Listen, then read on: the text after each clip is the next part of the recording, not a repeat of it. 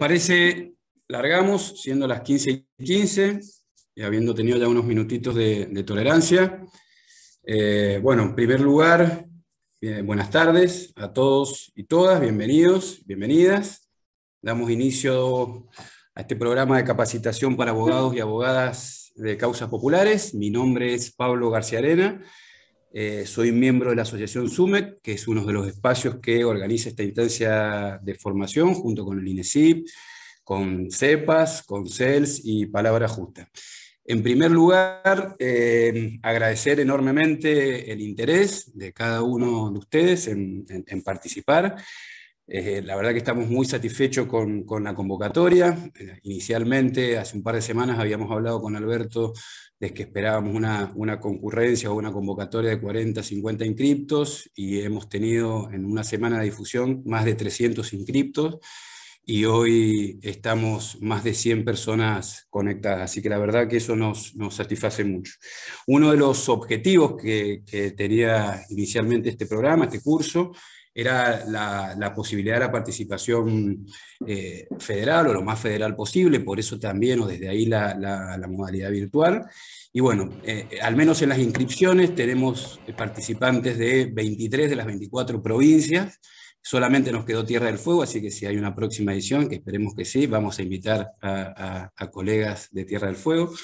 Y además hay participantes o inscriptos de otros países de la región, de México, de Perú, de Guatemala, de Ecuador, de, Bolivia, así que también, también bienvenidos.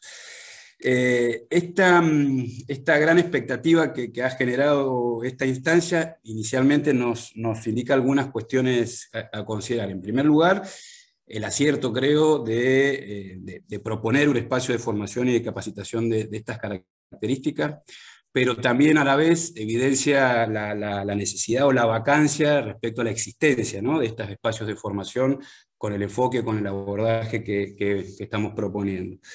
Y, otro de los elementos que creo que también es importante es la enorme amplitud de pertenencia o de referencia de, las, de, los, las personas que se inscribieron y los participantes, porque tenemos eh, inscriptos que pertenecen o participan en, organizaciones sociales, políticas, sindicales, eh, colegios de abogados, hay eh, integrantes de organizaciones, de organismos de derechos humanos, de organizaciones feministas, indígenas, organizaciones vinculadas a la lucha contra la violencia institucional, en defensa de los derechos de niños, niñas y adolescentes. Hay muchos inscriptos también que integran organismos, organismos públicos, nacionales, provinciales y municipales, eh, de distintos poderes judiciales, de poderes ejecutivos, de universidades y también de, también colegas y estudiantes independientes. Así que eso nos, genera también eh, una amplia expectativa. Seguramente ustedes pudieron ver el, programa, el, programa del curso, eh, que define las líneas, las líneas generales, del cual Gabriela y Alberto se van a extender en esta, en esta primera clase. Simplemente acotar que el perfil que nosotros pretendemos en este curso es poner a disposición de ustedes, de cada uno de ustedes, concretas, eh, herramientas concretas de litigio y poder abordar algunos temas especiales como litigio sobre tierra, derecho indígena, género, violencia institucional, litigio internacional, entre otras temáticas. Seguramente nos van a quedar nos quedan varias de estos temas especiales afuera, pero bueno, es la primera experiencia y en función del, andar de este programa veremos en las próximas ediciones si, sumamos, otras temáticas. simplemente mi intervención era los efectos de, introducir. Eh, antes de darle la palabra a, a Gabriela y Alberto, sí les voy a dar la palabra brevemente a eh, los distintos referentes, las organizaciones que, convocan este espacio para que den unas palabras de bienvenida y arrancamos formalmente con la primera clase. Si te parece, eh, Aldana, directora del INESIP, Aldana Romero, si estás por ahí, ahí te veo, eh, toda, toda suya la palabra. Gracias. Gracias, Pablo. Hola a todas y a todos. La verdad que es un poco sumar dos o tres cositas muy breves a todo lo que dijiste. Eh, compartir la, alegría que, tenemos desde el instituto de que este curso, inicialmente pensado para algunos pocos y pocas, eh, haya tenido tanta repercusión. Em, agradecer también al resto de las organizaciones, ustedes obviamente, también a CEPAS, a Palabra Justa y al CELS por acompañarnos en esta, en esta iniciativa. Eh, para el instituto es una de las líneas de trabajo que queremos desarrollar fuertemente desde nuestro programa de acceso a la justicia. Como recién decías vos, Pablo, habla, esta gran convocatoria habla de una necesidad concreta eh, y real eh, en la que INESIP está comprometido especialmente para poder seguir colaborando. Este va a ser el primer encuentro de dos encuentros que, que van a tener con distintas cuestiones, donde, como bien señalabas, la idea es poder colaborar con el desarrollo de capacidades técnicas específicas para cuestiones de litigio y algunos temas en particular que son especialmente relevantes para el ejercicio de la abogacía popular. Eh, pero aclarar que es el primero, ¿no? Seguramente que hay muchas áreas de, vacancia y muchas necesidades que aparezcan conforme vayan avanzando los encuentros y saber que el INESIP está totalmente dispuesto a que este sea una primera edición de trabajo conjunta de muchas que van a venir eh, que ojalá vengan y generen y conciten el mismo interés y entusiasmo que está generando esta. Eh, la apuesta siempre eh, que tenemos desde el instituto y, nos alegra mucho estar compartiéndola conjuntamente con todas estas organizaciones, es poder colaborar con el desarrollo de, redes ¿no? y articular esfuerzos que se vienen haciendo a lo largo y ancho del país. Recién decías que tenemos 23 de las 24 provincias aquí en, esta, en esta sala, junto a un montón de países de la región hermanos con los que hemos laburado durante muchos años. Em, y en ese, con ese fin, con ese objetivo, es que también hoy estamos acá, ¿no? Para poder seguir generando estos espacios de articulación de trabajo colectivo y conjunto. Eh, y adelantarles que el compromiso del instituto inicia hoy en estas jornadas, pero que no termina acá, que no desesperen aquellos que quizás no han podido inscribirse o en esta edición no están participando, que sepan que va a ser el primer esfuerzo de muchos otros, que estoy segura que estas mismas organizaciones nos van a estar acompañando en las próximas ediciones. Nada más, eh, un placer, van a tener una hermosa primera clase y un gran curso por delante del que espero que podamos disfrutar todos y todas. Buenísimo, muchas, muchas gracias Aldana. Florencia Gómez, en representación de CEPA, si estás por ahí, ahí te veo. Sí, aquí estoy. Bueno, buenas tardes. Eh, una alegría participar en esto y, contarles que el CEPAS eh, ve, digamos, con, muy buenos ojos esta iniciativa del INESIP y de las otras asociaciones, porque también entendemos que las distintas causas vinculadas a derechos humanos, a la justicia social, a la justicia ambiental, requiere de abogados comprometidos y que tengan las herramientas necesarias para lograr ese acceso a la jurisdicción, mantenerse en la jurisdicción y después también lograr, digamos, las ejecuciones de sentencias. A veces sabemos que eh, quienes más tienen, eh, digo, a mí, a mí me parece que esto en el CEPAS, por eso nosotros nos llamamos Centro de Políticas Públicas para el Socialismo, eh, una de las, de las líneas, digamos, o los ejes principales tienen que ver con la igualdad y esta actividad tiene que ver con la igualdad también, ¿no? Porque muchas veces los abogados que están llevando adelante causas populares no son solamente abogados litigantes, sino son abogados militantes que dan capacitaciones, que, dan, que están en la misa y en la procesión con todo lo que eso implica. Entonces, eh, felicitaciones y los mejores augurios para esta, para esta jornada y para todas las que vienen. Muchas gracias, Florencia. Bueno, finalmente le vamos a dar la palabra a Diego Morales por el CELS. No sé si Diego está por ahí, sé que tenía algunas dificultades para conectarse. Diego, bueno, si no, más tarde cuando ingrese le damos la palabra. Entonces, estamos ya en condiciones de arrancar. Eh, vamos a darle la palabra ya al inicio de la primera clase, vamos a darle la palabra a Gabriela Carpinetti. Gaby es referente Palabra Justa, que es una de las organizaciones que, que participa de este espacio y además es la directora nacional de acceso a la justicia del Ministerio de Justicia de la Nación. Gaby, eh, toda, toda suya la palabra. La idea en esta primera clase, como la van a compartir con Alberto, es, Gaby, que tengas 30, 35 minutos y después eh, le damos la palabra a Alberto para que el mismo disponga también del mismo tiempo y si nos sobran algunos minutos al final podemos hacer algún intercambio respecto de lo, de lo que se ha desarrollado hoy. Bueno, nuevamente bienvenidos y bienvenidas y muchas gracias. Muchas gracias, Pablo, Alberto, Florencia, Aldana, a, Diego en representación del, del CELS y fundamentalmente a, a, todos los colegas y las colegas que se entusiasmaron con esta convocatoria, que cuando comenzamos a pensarla con los directores de este programa con Alberto y con Pablo a principio de año. Teníamos eh, objetivos y sobre todo necesidades. Es un programa de formación que está muy ligado y muy sujeto a las necesidades cotidianas que vivimos los abogados y las abogadas litigantes, los que realizamos nuestra tarea desde la esfera pública estatal, pero fundamentalmente los que realizan su tarea desde las asociaciones y entidades civiles como las que convocan a esta formación y a los, y a los llaneros y a las llaneras que todos los días bogan por causas populares. Y me interesaba eh, volver al diccionario. A mí, yo siempre eh, como docente, en, en los espacios que fui docente, siempre propongo estudiar, caminar y pensar con un, con un diccionario de lengua a mano. No porque no sepamos qué significan algunas palabras, sino porque a veces es importante volver a leer el acuerdo que, que, tuvo nuestra, nuestra sociedad, nuestra comunidad, nuestra lengua para determinar qué significa cada cosa. Y abogar todos los que estamos acá sabemos a qué remite la palabra abogar, pero me interesa, me interesa recordarlo, porque es el quehacer de nuestro oficio. Abogar es interceder, es meterse a través del habla, de la oración, de la palabra oral y de la palabra escrita también, es decir, y es escribir.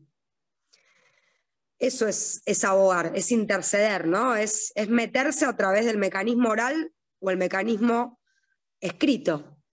Entonces, cuando nosotros decidimos abogar por causas populares, estamos proponiendo meternos, interceder, como dije, a través del mecanismo oral o escrito en causa, un nombre femenino, un sustantivo femenino que remite al origen de algo. En este caso, nosotros fuimos muy determinantes en la denominación de este programa porque nos interesa formar abogados y abogadas de causas populares, personas que aboguen, que se metan en el origen de determinadas situaciones que pertenecen al pueblo, porque lo popular tiene dos acepciones básicas y conocidas.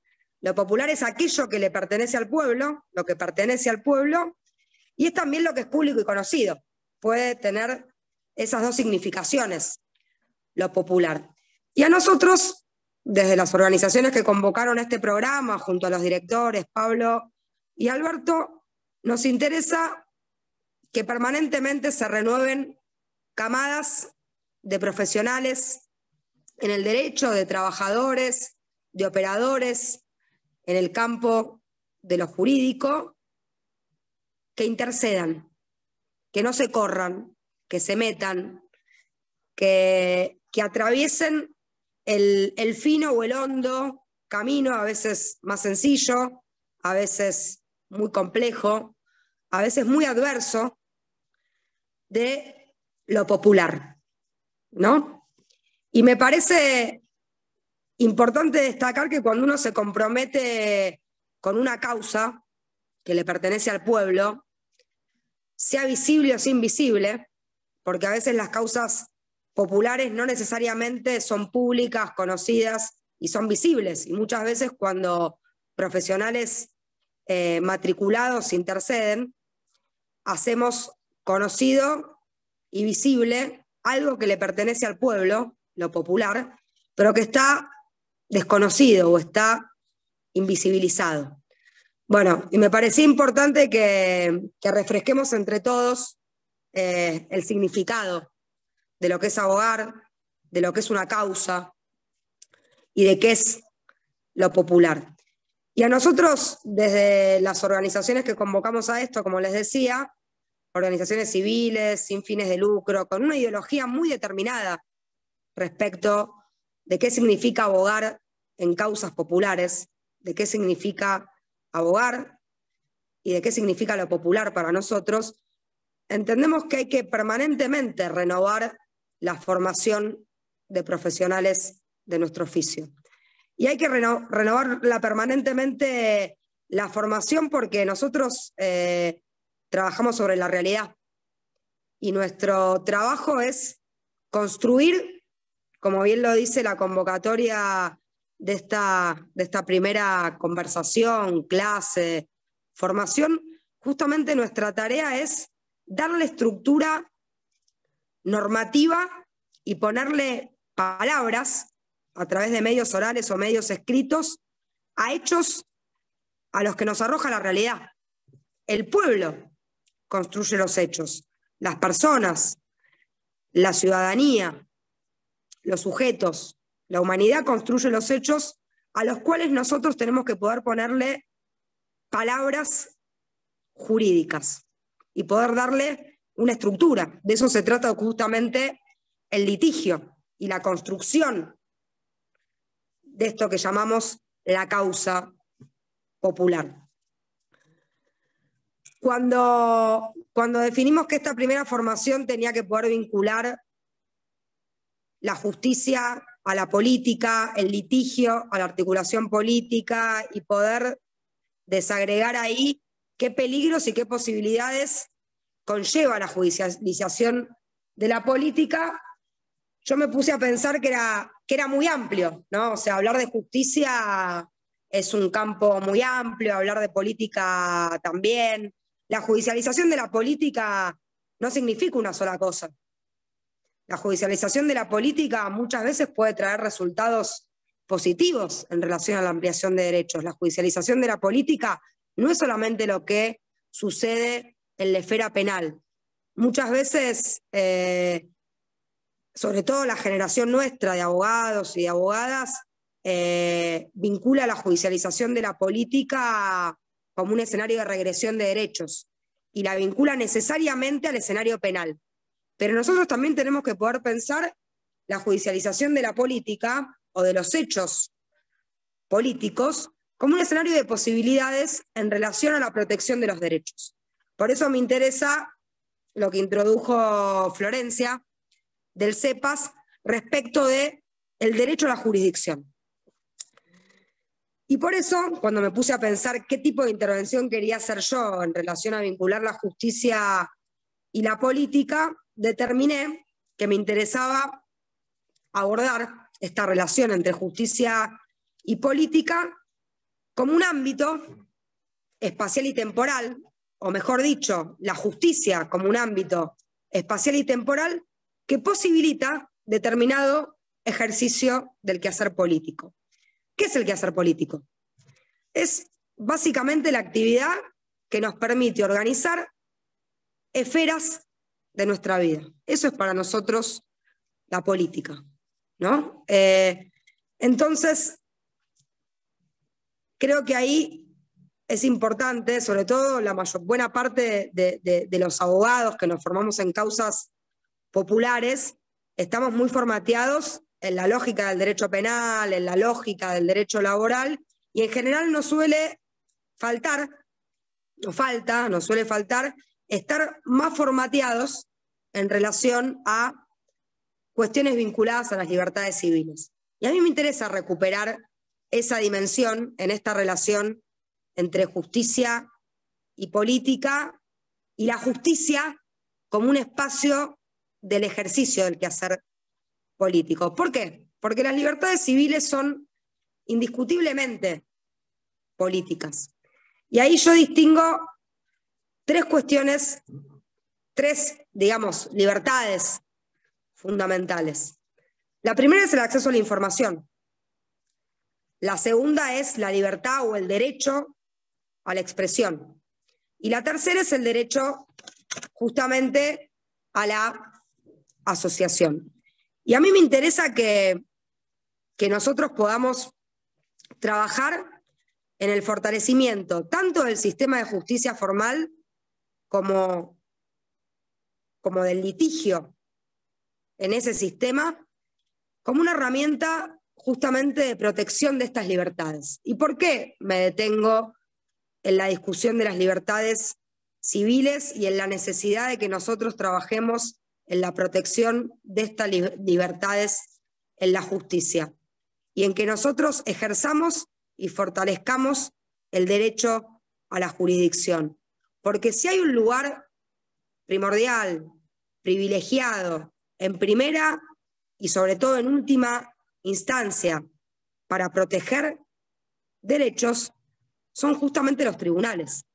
Los tribunales tienen que ser ese lugar de excelencia, de excelencia para proteger y garantizar la acción política, porque es en definitiva la acción política y el quehacer político a través del ejercicio de estas libertades civiles lo que nos permite diseñar cómo queremos vivir, en qué sociedad queremos vivir, qué calidad humana y qué calidad de vida queremos tener como sociedades, ¿no? Entonces, a mí me interesa rescatar la dimensión eh, posibilitadora para el resguardo de derechos, para la efectivización de derechos, para la ampliación de derechos que puede darnos el derecho a la jurisdicción. Y me parece, me parece importante esto porque en general los abogados populares, los abogados de causas populares que pretendemos formar y seguir formando y seguir renovando esa formación y seguir actualizándonos acorde a los hechos que, construye el pueblo, en general solemos trabajar en escenarios defensivos, ¿no? Solemos trabajar en escenarios defensivos, solemos combatir la restricción de derechos, solemos ser los que estamos en la trinchera frente a escenarios de retroceso y debilitamiento de derechos, pero nos cuesta pensar cómo hacemos para que el sistema de justicia formal, para que este derecho a la jurisdicción sea un escenario justamente de ampliación, de efectivización y de resguardo de derechos. Estamos más acostumbrados a trabajar y a construir escenarios de litigio en escenarios defensivos que en escenarios ofensivos. Entonces, otro de los objetivos que tenemos en este programa es justamente fortalecer una camada de abogados, de abogadas, de promotores y de litigantes que estén a la ofensiva y que no estemos solamente a la defensiva y que podamos ejercer el derecho a la jurisdicción como el derecho, eh, digamos, excelentísimo para el ejercicio de estas libertades civiles que son las que posibilitan el quehacer político. Tal vez haya sido muy abstracto lo que estoy diciendo, pero quiero pasar a algunos hechos concretos.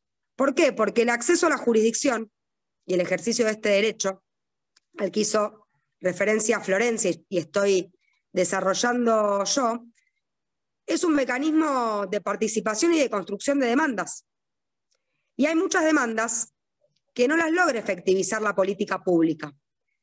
Y, acceder a la jurisdicción para efectivizar demandas en materia de acceso a derechos económicos, sociales, culturales y ambientales es también la posibilidad de concretar esos derechos. Entonces es muy importante que nosotros aprendamos y nos fortalezcamos para construir escenarios en el sistema judicial que tengan que ver con el resguardo, la ampliación y la efectivización de derechos que muchas veces no están resueltos en la esfera de las políticas públicas. ¿sí? ¿Y esto por qué sucede? Porque hay un dato de esta etapa histórica que, bueno, que podemos remontarla a mediados de la década del 70, cuando se producen transformaciones en el en el desarrollo eh, del sistema capitalista en términos económicos, con, determinados por relatos políticos y sociales, por lo menos en el mundo por nosotros más conocidos, que es el mundo de las democracias occidentales, que sin lugar a dudas en este presente arrojan, arrojan una caracterización compartida, que es que la democracia occidental, tal cual la conocimos y tal cual la conocemos y padecemos, en vastos lugares del planeta no ha logrado garantizar el buen vivir para un porcentaje importante de nuestras sociedades. Entonces, cuando se debilita o no logramos visibilizar las realizaciones concretas de la democracia, en materia sobre todo de derechos económicos y sociales, pero también en materia del ejercicio de esas libertades civiles que nos permiten, entre otras cosas, la libre asociación para peticionar, para reclamar y para exigir, indefectiblemente, cuando la democracia no logra garantizar eso, aparece la justicia, ¿no? Los problemas se trasladan a la esfera judicial. Los conflictos colectivos, los conflictos de interés público, indefectiblemente, cuando la democracia no nos satisface, cuando hay insatisfacción democrática, los conflictos se terminan dirimiendo en otros ámbitos diferentes a la esfera de la política pública de los poderes ejecutivos. Entonces, esa debilidad de la democracia en relación a la satisfacción de derechos y su efectivización produce una relocalización del conflicto en la órbita judicial. Entonces, indefectiblemente, la esfera judicial se politiza. Indefectiblemente, la esfera judicial se politiza. Y ahí está nuestra, digamos, la demostración de nuestras habilidades como profesionales del derecho y nuestra capacidad de lograr que la intervención judicial sea una puerta, sea un puente que posibilite que fortalezca y que nutra esta ampliación y esta efectivización de derechos para el buen vivir y que no sea la intervención judicial una esfera que obture, que entorpezca y que rompa el universo de los derechos que están consagrados en las estructuras normativas de las democracias tanto liberales como las democracias sociales, porque si hay un, un camino compartido desde la Revolución Francesa hasta los procesos de constitucionalismo social y los procesos reformistas de las últimas décadas que incorporaron los tratados internacionales, eh, por lo menos en la experiencia de nuestra, de nuestra región, eh, es que hay una estructura normativa, hay palabras que, están colocadas en nuestras constituciones y en nuestras normas que reconocen derechos.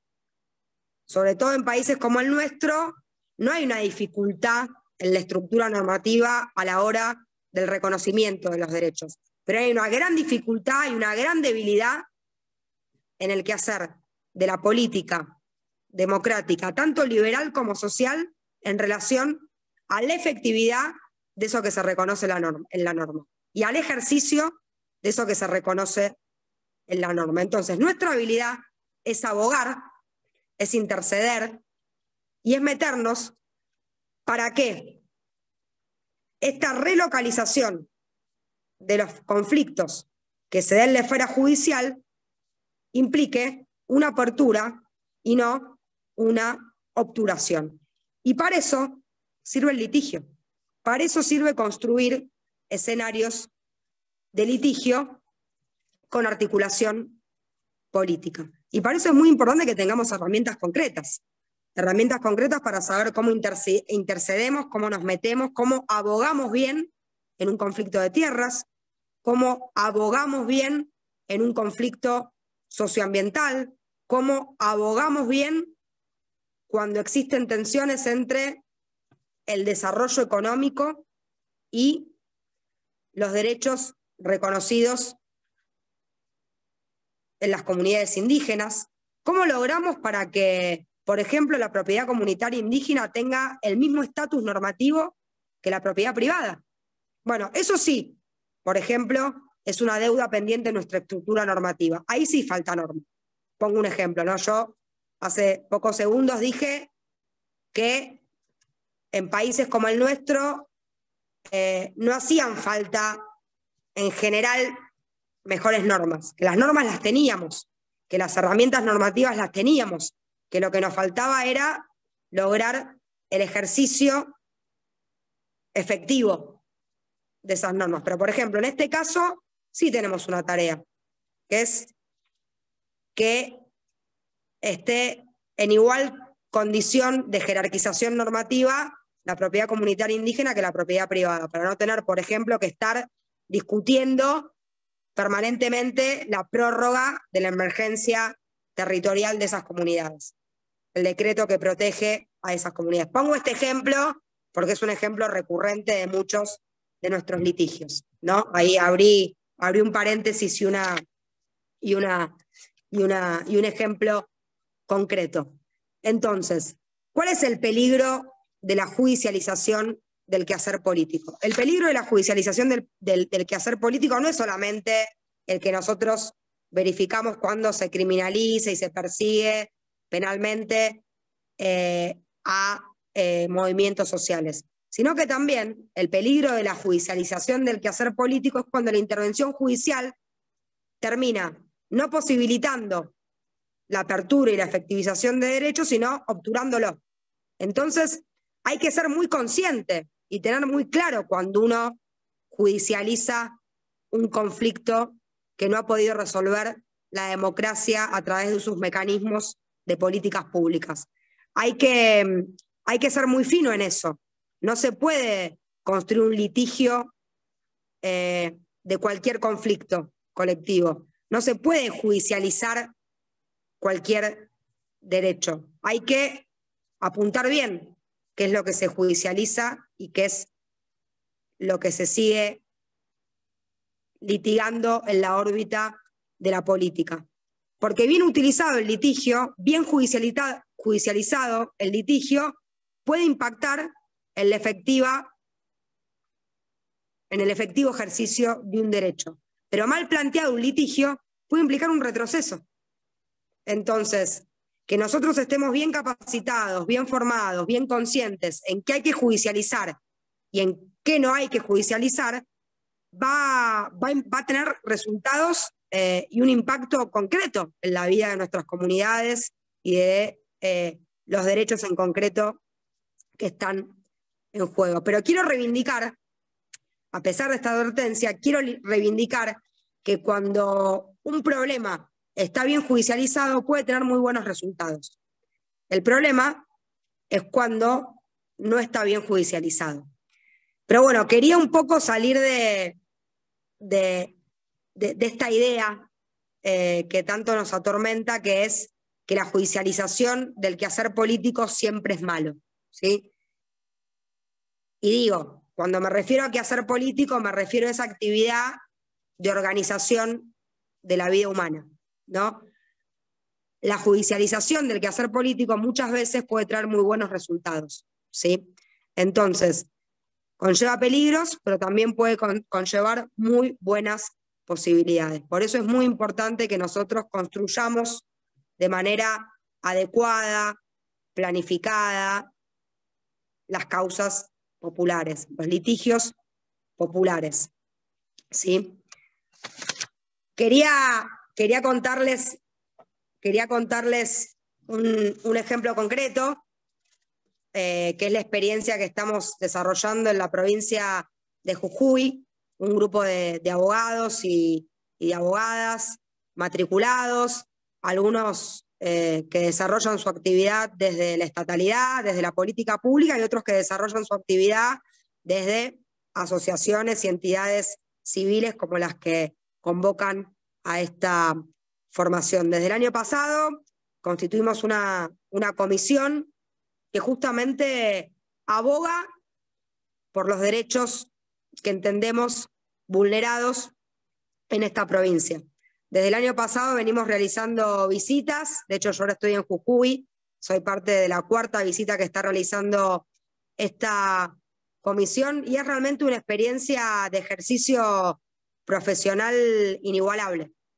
Yo creo que la única manera de aprender a litigar es litigando que la única manera de, de, aprender es equivocándose, es construyendo litigios, es justamente escribiendo, ¿sí? Es muy importante que aprendamos a escribir como abogados y como abogadas. La escritura es un medio fundamental para abogar en las causas populares, ¿sí? Eh, tanto el medio oral como el medio escrito, ¿no? Eh, y quería invitarlos a que, a, que, a que siempre que litiguemos lo hagamos también colectivamente, porque litigar en soledad, abogar en soledad suele ser muy frustrante y suele ser muy difícil. Entonces, abogar colectivamente, litigar colectivamente, armar equipos jurídicos para meterse en causas populares, es la única manera de aprender. Es la única manera de aprender. Y necesitamos litigar, porque como vengo diciendo desde que inicié mi, intervención, los litigios son la posibilidad de hacer efectivos muchos derechos que nuestras democracias eh, de las últimas décadas nos han demostrado que no resuelven. Entonces, judicializando y armando litigios respecto de eso que no puede resolver la democracia, muchas veces terminamos por poder resolver lo que la democracia en su, esferas, en su esfera ejecutiva no resuelve. ¿sí? Y bueno, en Jujuy nos tocó una muy difícil, porque en Jujuy recién ahora todavía eh, no pudimos pasar de, la esfera de la defensa penal a la esfera de lo que yo llamo el ataque civil. ¿sí? Eh, en Jujuy estamos en un escenario en donde estamos defendiendo una libertad civil básica, de esas que mencioné al principio, que es el derecho a la expresión, el derecho a la asociación, eh, a la asociación libre, el derecho al acceso a la información en expedientes judiciales. Estamos defendiendo libertades civiles básicas a través del trabajo de esta comisión que entendemos que están vulneradas en esta provincia. Y esas libertades, eh, desde mi punto de vista, no son fines en sí mismos, son medios que nos posibilitan la concreción de derechos que garantizan el buen vivir. ¿sí? Fundamentalmente esos derechos económicos, sociales y ambientales. Pero sin esas libertades civiles garantizadas, es muy difícil conquistar los derechos que hacen a la materialidad de un buen vivir. ¿sí?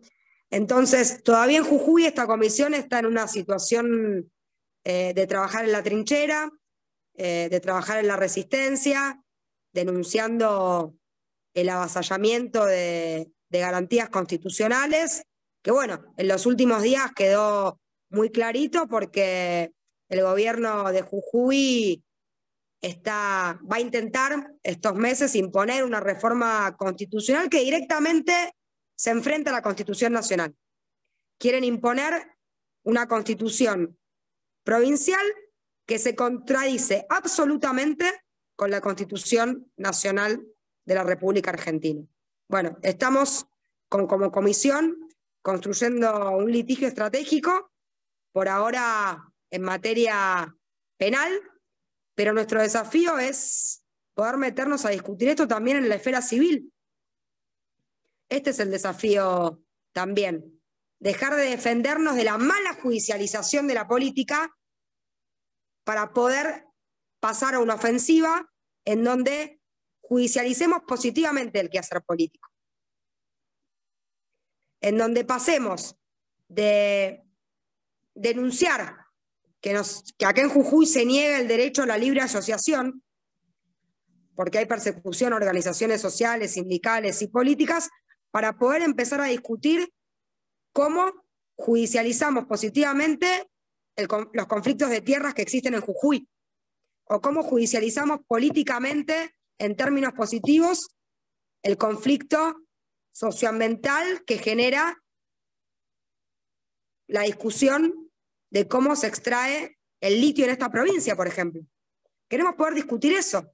Queremos salir de la zona defensiva y penal para poder discutir, por ejemplo, cómo se garantiza el acceso a la tierra, la regularización dominial, cómo se va a extraer el litio en esta provincia, cómo se va a grabar a las empresas, si esa plata se va a quedar acá o se va a ir todo afuera. Bueno, esa es la buena judicialización que tenemos que lograr en esta y en otras provincias donde hay conflictos socioambientales.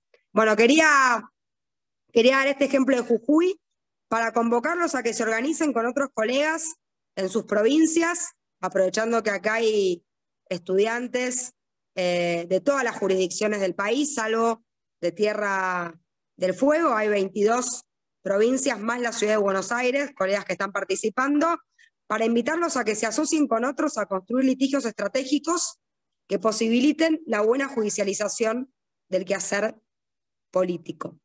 Así que finalizo con esta convocatoria y eh, invitándolos a que, a que aprovechemos la justicia como un espacio, eh, como un ámbito espacial y temporal para construir escenarios de buen vivir. Muchas gracias.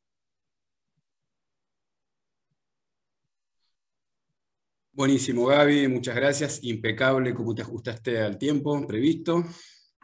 Eh, bueno, ahora sí le damos la palabra a Alberto Binder, presidente de INESIP. Alberto, eh, tenés los minutos que le sobraron a Gaby y los tuyos. Bueno, muy bien, buenas tardes, un saludo muy grande a, todos ustedes.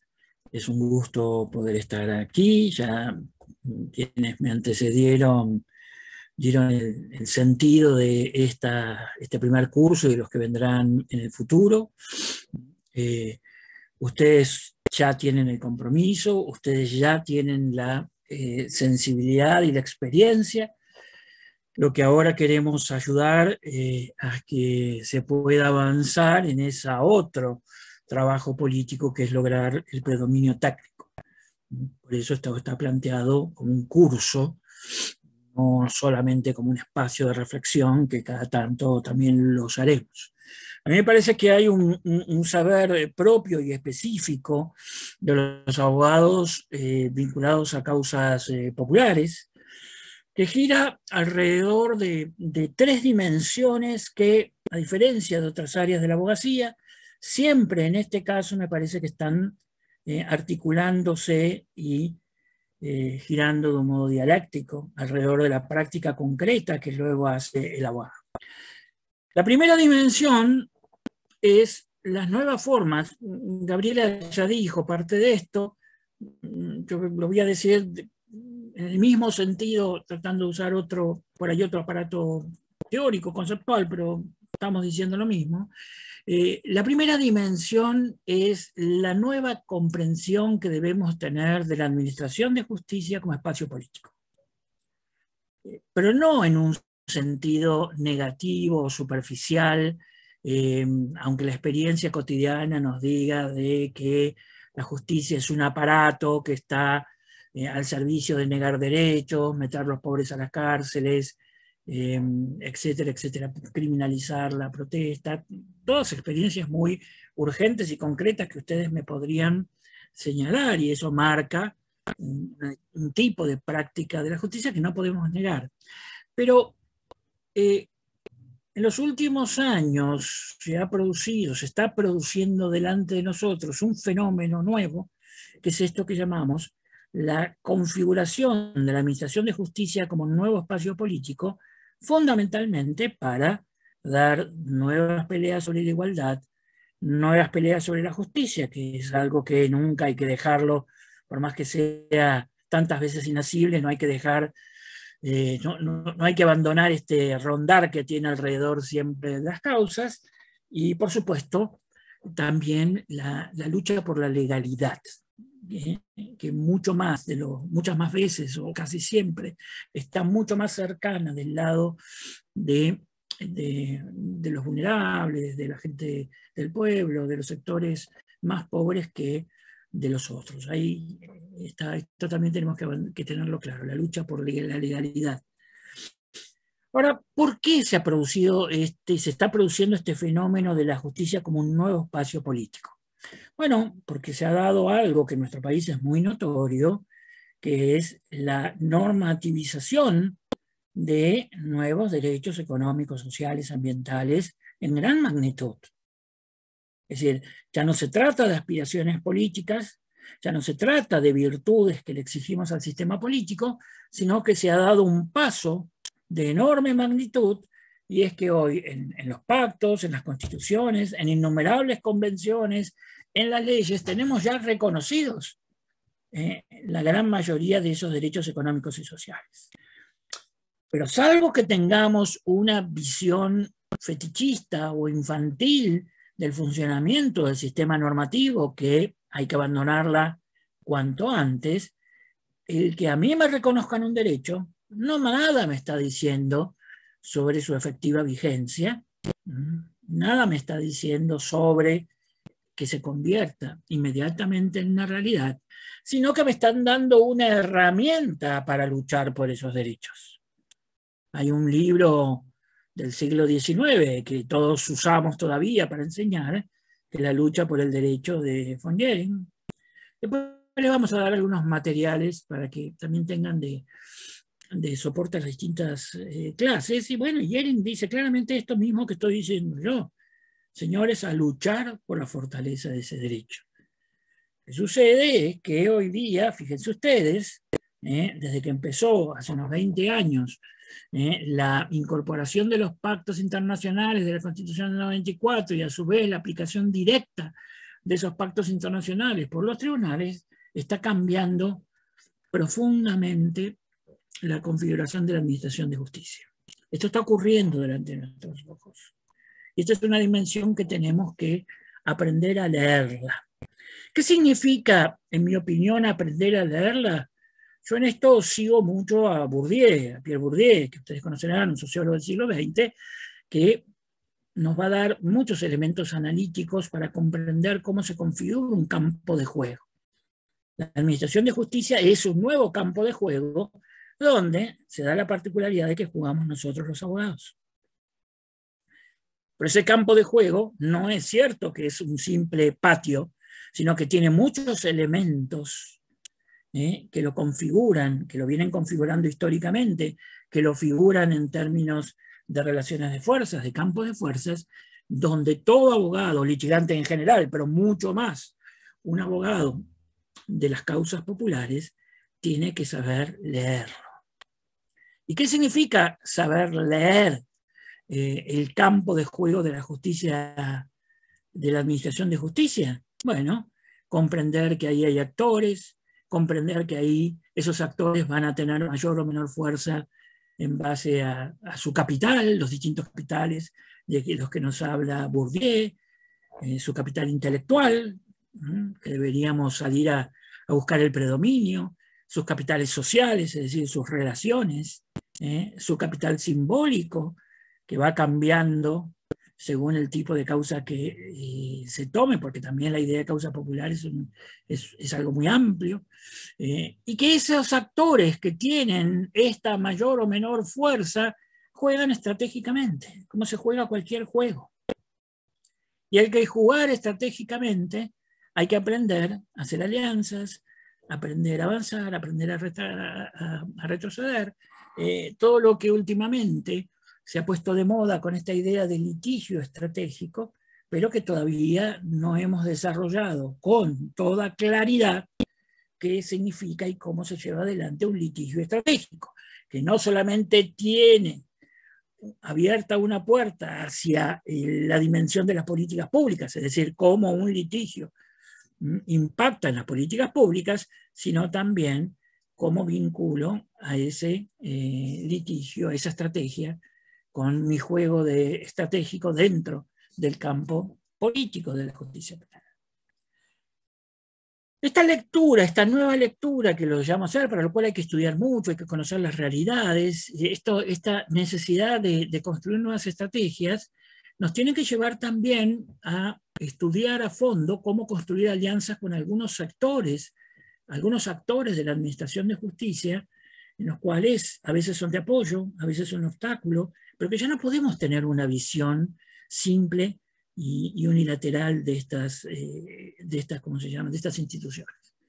Les pongo, por ejemplo, hoy día, Ministerio Público Federal, debe haber aquí debe haber muchos, o algunos que estuvieron allí, eh, en su nueva ley del Ministerio Público, esto proviene de la época de Alejandra Gil Carbó, o en el desarrollo de los atajos que finalmente quedó vinculado, plantea claramente como una institución que busca construir alianzas con los movimientos sociales, con los movimientos eh, populares, con una visión nueva de lo que significa defender la Constitución y defender la legalidad, y con eh, una idea de cómo acompañar las mismas acciones de clase.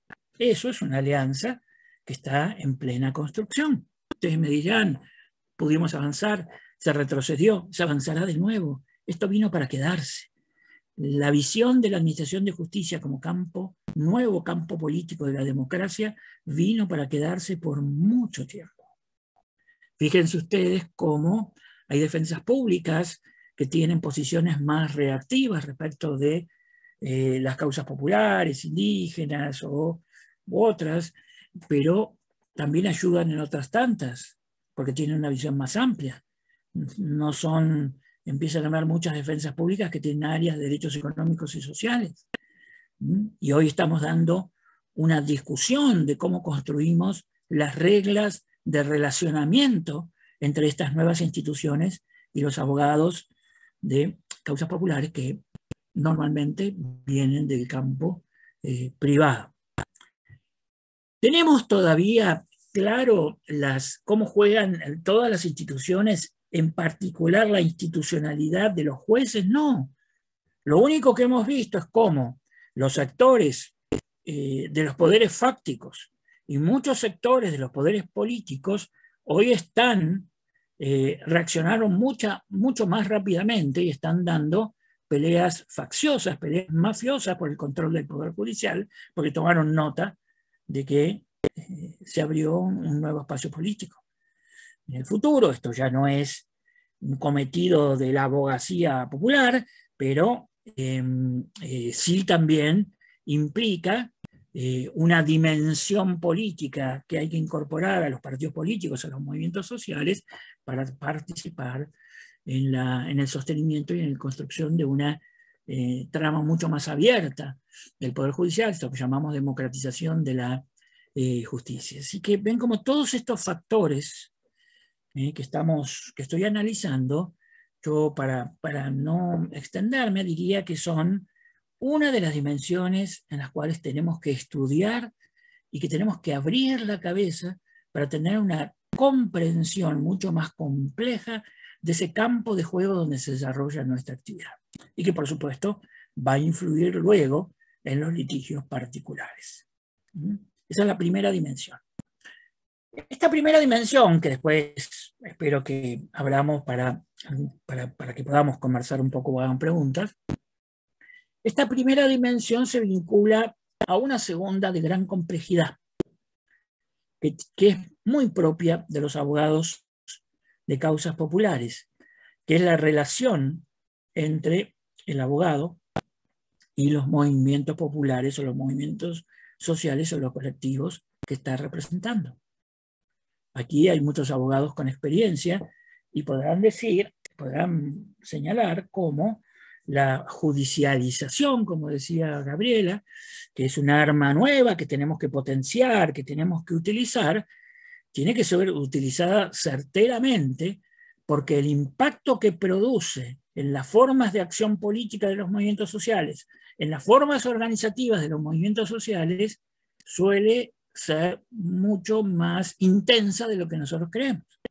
Por lo tanto, hay que tener un ojo abierto, una mirada abierta hacia cómo mantener la lógica de construcción política de los movimientos sociales con las lógicas bastante complejas del, em, litigio.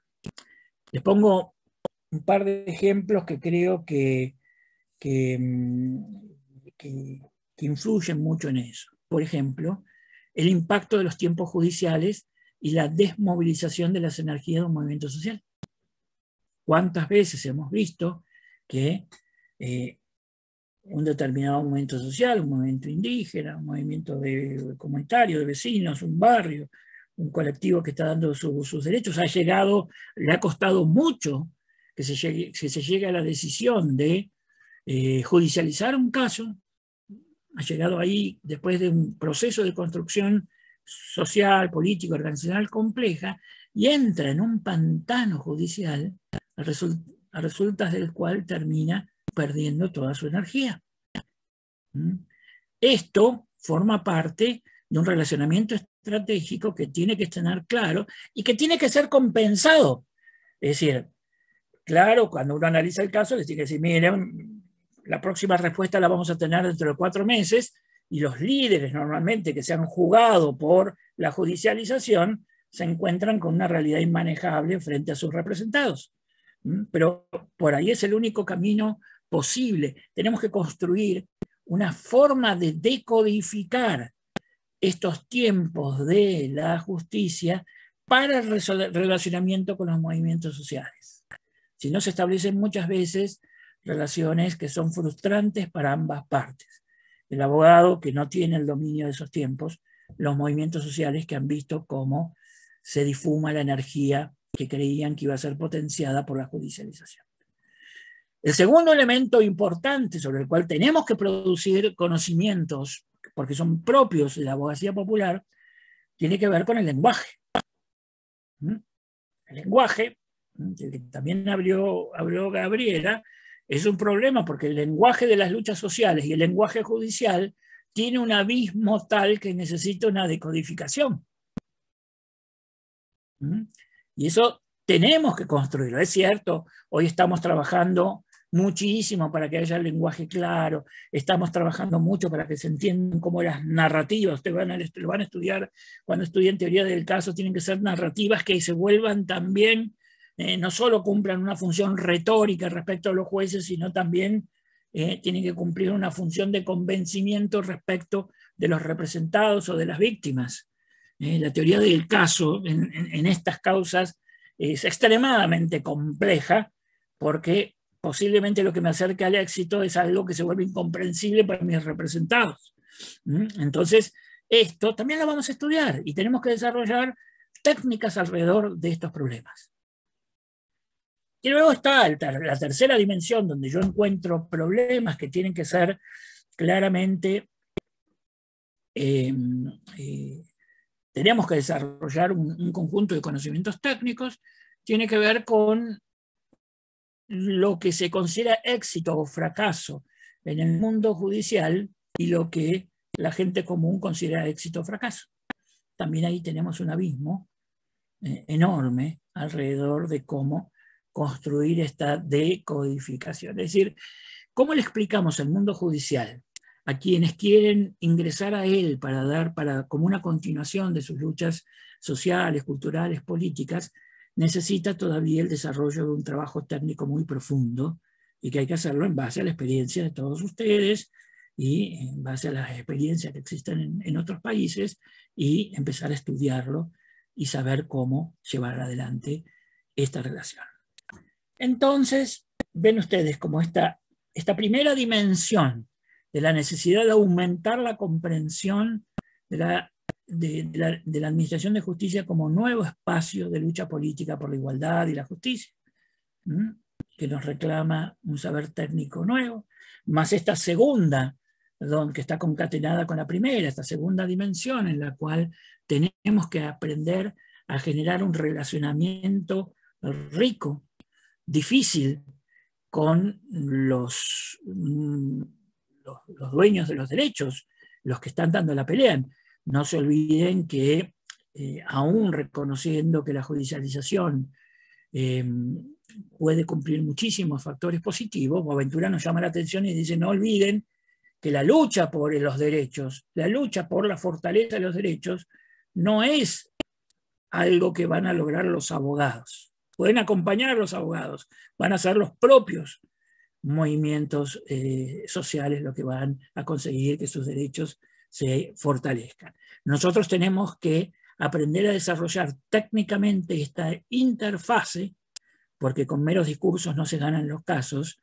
Nosotros tenemos que entrar a jugar con los juegos de la justicia en la que estemos, pero al mismo tiempo tenemos que lograr que la judicialización potencie las luchas propias de los movimientos sociales y no los deflacionen, no los dilapiden. Esto es fácil de decir, es extremadamente complejo de llevar a la realidad y ahí tendríamos que empezar a consolidar experiencias para construir un saber específico sobre esto. La tercera dimensión de estas, de estas tres que están conjugando permanentemente como propias del saber práctico de un abogado en las causas populares, tiene que ver ya con los elementos técnicos eh, del abogado que tiene que jugar el juego de la Administración de Justicia, de los litigios tal como se juegan en, eh, los distintos eh, tribunales y espacios judiciales de nuestro país. Y ahí tenemos un problema que se vuelve un poco más grave dada la importancia de las causas, y es que arrastramos defectos técnicos en nuestra formación como abogados, que lo sufre todo el mundo, pero que se van haciendo más graves, insisto, por la gravedad de las causas, eh, en el caso del abogado de, causas populares. Fíjense que yo siempre insisto que nosotros en, una, eh, en nuestra facultad, en nuestras facultades, en nuestras escuelas de derecho, prácticamente no nos enseñan nada sobre el análisis del conflicto. Nada, muy poco, casi nada. Y si hay algo, pero esto, esto que que, lo, usamos como, una, eh, como un latiguillo en la crítica, en la enseñanza del derecho, de acá se desprenden cosas muy prácticas que vamos a ver de hacer cursos sobre todo esto. Es decir, todo abogado tiene que tener una rápida capacidad de comprensión del conflicto. Un abogado de las causas populares tiene que tener una más intensa capacidad de comprensión del conflicto. No se puede llevar adelante eh, un caso sin tener una rápida, y existen técnicas de esto, porque el conflicto no siempre es el que aparece, no es siempre el que está, el que surge de un análisis legal, al contrario, los conflictos nunca son unidimensionales, distintas versiones del conflicto con el contendiente se relacionan también con conflictos internos de los colectivos, los intereses no son homogéneos, los sectores internos tienen distintas capacidades de gestionar sus propios intereses. Todo eso es capacidad de comprender el conflicto, que va a influenciar mucho en mi capacidad de gestionar y llevar adelante el caso. Eso no nos lo enseña en la facultad, no está en las bases de nuestros conocimientos como abogados y vamos a tener que ahondar en eso para eh, entender con claridad y adquirir las técnicas de comprensión del conflicto. Segundo elemento que vamos a tratar de hacer cursos y en este pequeño este curso inicial vamos a ver un poco, pero que hoy un abogado de, de causas populares lo tendría que tener a flor de piel y que tampoco nos enseñan en nuestras escuelas de leyes, es a negociar. La tendencia a generar formas de mediación comunitaria, mesas del diálogo, mm, mesas informales que van acompañando a las acciones de clase o a las acciones intensas. ¿eh? las dificultades que hay llevar adelante negociaciones en, temas candentes, temas calientes para la gente. Bueno, todo eso requiere una gran capacidad de negociación. Y posiblemente a ustedes en la enseñanza del derecho no les han enseñado a negociar. ¿Mm? Tampoco. Y hoy día la negociación es un elemento central. Tanto cuando yo tengo que, eh, que, acompañar los procesos de negociación de colectivos, que son los que están empujando los casos, cuando me sientan en una mesa del diálogo con eh, actores a veces mucho más entrenados o no, para negociar con el Estado no es lo mismo que negociar con los privados, negociar con muchas entidades estatales no es lo mismo que negociar con una sola. Bueno, técnicas de negociación. Vamos a ver si podemos hacer cursos también, porque eso mm, pasa a ser un elemento central, no de los abogados de las empresas, que son los que los estudian y hacen máster de negociación. Un abogado de causas populares necesita tener un gran conocimiento de negociación y mediación comunitaria. Negociación comunitaria, olvidémonos, no doy la palabra mediación. Bueno, en tercer lugar, vamos a tener eh, a lo que más se dedica esta, eh, este curso, que es a las técnicas de litigación. los sistemas procesales de nuestro país están en transición, se están generando nuevas formas de litigación, hay mucha oralidad que se está estableciendo, hay oralidad de buena calidad, hay oralidad de mala calidad, hay cambios en, los sistemas recursivos, hay eh, bueno, cambios en el recurso extraordinario, cambios en los recursos de casación de cada una de las provincias. Bueno, hay una enorme cantidad de cambios y también nuestra, eh, nuestras facultades nos enseñan poco a litigar. Y por lo tanto, este curso es la primera vez que vamos a tratar de vincular las técnicas básicas de litigación, que son cómo construir hipótesis del caso, cómo, cómo preparar y planificar la prueba. Todo esto antes de llegar a un juicio o a una audiencia principal. Cómo resolver los problemas de admisibilidad probatoria. No bien podamos, vamos a hacer un buen curso de teoría de la prueba cómo resolver los problemas de la presentación del caso en juicio, adquirir las técnicas más elementales de examen de testigos, eh, adquirir las técnicas más elementales de control de la prueba, saber ordenar la documentación. Todo esto en contextos muy difíciles, contextos adversos, a veces con poca ayuda, y sobre todo hay algo que tenemos que desarrollar que para algunos se vuelve una imposibilidad o en otros países te dicen eso es imposible. ¿Cómo litigar sin plata? ¿Mm? Ustedes dirán, pero eso es un problema menor. No es un problema menor, porque tiene una influencia estratégica enorme. Eh, todos podemos en el papel eh, construir el mejor litigio posible y después sacás de ahí y digo, bueno, necesito una pericia de tal lugar y ahí se te trabó todo tu caso, porque tu caso es dependiente de esa pericia que no tenés plata para hacerla y nadie te la va a ayudar a hacer. Acá vamos a tener que hacer un curso específico sobre cómo movilizar recursos existentes o inventarlos para litigar. En las causas populares, yo les voy a decir una cosa, es muy difícil litigar bien sin plata. Con esto no estoy diciendo que ustedes les paguen, cosas que están muy bien, porque eh, ser, ser, un abogado comprometido no significa siempre y en todo caso trabajar gratis, que uno lo va a hacer, sino que hay que profesionalizar este tipo de trabajo, sino los costos del caso. Y ustedes han visto los costos del caso, la, la, displicencia y la negligencia que tienen los sistemas judiciales. Vos tuviste que ir a buscar un testigo a 300 kilómetros lo llevás y te suspendieron la audiencia y te dejaron en la puerta con el testigo, vos le decís, no lo puedo mandar porque no tiene plata, no tengo dónde llevarlo, ¿cuántas veces te lo vas a llevar a tu casa? Es decir, eh, la estructura económica que está atrás del caso es un tema central que tampoco nos han enseñado a hacer una planificación económica de los costos del caso.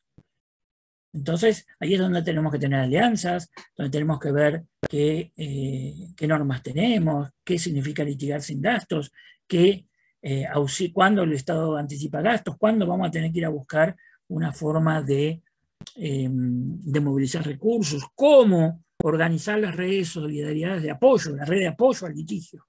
Todo eso es algo que también nos enseñan poco. Y por último, porque ya estoy llegando también a, mi tiempo, eh, algo que es central para los nuevos tiempos, digamos, que es el análisis de la jurisprudencia. Eh, nuestro país tiene un enorme desorden jurisprudencial, eh, está haciendo crisis cada vez más grande, sobre todo en los tribunales superiores, en la Corte Suprema, eh, pero también tenemos un análisis muy deficiente de eh, la jurisprudencia. Nuestra Corte Suprema vive diciendo en los últimos 10 años que sus precedentes son obligatorios, pero la mayoría de las enseñanzas nos vive diciendo que esto no es así, cosa que sí es así, pero también no tenemos claro las diferencias, ustedes van a tener una clase sobre esa, entre lo que se llamamos los modelos casatorios franceses y la obligatoriedad de la interpretación legal, que es algo bastante contrario a nuestro sistema constitucional, y lo que es el sistema de precedentes y cómo se construye el sistema de precedentes. ¿Por qué digo esto? Porque atrás de todo esto hay una lucha por la igualdad. Y conocer el sistema de precedentes se funda en un criterio de igualdad. que casos similares se resuelvan de un modo similar, que es una de las dimensiones centrales del principio de igualdad. Pero tenemos que desarrollar nuevas técnicas de eh, análisis de la jurisprudencia muy al servicio del litigio en segunda instancia, que también tiene características nuevas. De la mano de todo esto, yo siempre aspiro a, ver cómo podemos introducir eh, una técnica rigurosa de las pocas páginas. Si algo que ahoga a la abogacía de las buenas causas y de las causas populares es esta eh, espantosa tradición de escribir y escribir y escribir hojas repetitivas que no significan nada o de sentencias que no dicen nada. Yo aspiro, siempre estoy tratando de ver cómo construir el amparo de dos páginas, digamos. ¿eh? Total lo voy a ir a sustentar en la audiencia oral, no necesito escribir más de dos páginas, pero si nosotros, ustedes fíjense, son cosas muy prácticas, pero si lográramos establecer lo que se llaman mociones escritas, que nunca desaparecen en ningún sistema, pero mociones escritas rigurosas, cortitas, donde decimos lo que queremos hacer, pero no están cansados de toda, toda esta retórica vacía en la cual llenamos nuestros escritos judiciales y nos hacen perder un tiempo enorme de trabajo. Bueno, las audiencias orales todavía no se han compatibilizado con eh, el carácter riguroso y austero de las eh, nuevas mociones escritas, que también haremos un curso de cómo hacer mociones puntuales eh, en ese sentido. Bueno, eh, quería terminar acá, por así nos da tiempo para, escuchar, y, vuelvo con esto. Estas tres dimensiones, eh, la de las nuevas teorías y técnicas para comprender la administración de justicia como un nuevo espacio político de la democracia, las técnicas y teorías para entender el relacionamiento con un cliente muy particular, tiene, que seguir, tiene que salir potenciado de sus luchas judiciales en la lucha más originaria y profunda que es la de esos movimientos sociales en la consecución de la fortaleza de sus derechos. Y este saber técnico específico, riguroso y profundo que tiene que tener el abogado de las causas populares. La idea nuestra es poder desarrollar todo un programa de trabajo con ustedes donde siempre, en todo caso, estén jugando estas tres dimensiones. Así que esta, es, esta era la presentación inicial que queríamos hacer con, Pablo, con, con, Gabriela, y luego verán ustedes cómo se desarrolla en el curso. Así que, bueno, esto sería la presentación. Quedamos a la espera de sus comentarios o preguntas. Muchas gracias, Alberto. Eh, impecable, como siempre. Vamos por ese amparo de tres hojas, de cuatro, una más podemos agregar. Eh, bien, bueno, tenemos un rato más para, para a fin de, poder tener un espacio de, diálogo, de consultas, de preguntas. Hay una cuestión que tiene que ver con la organización del curso a través de los mails, donde ustedes pudieron hacer las inscripciones.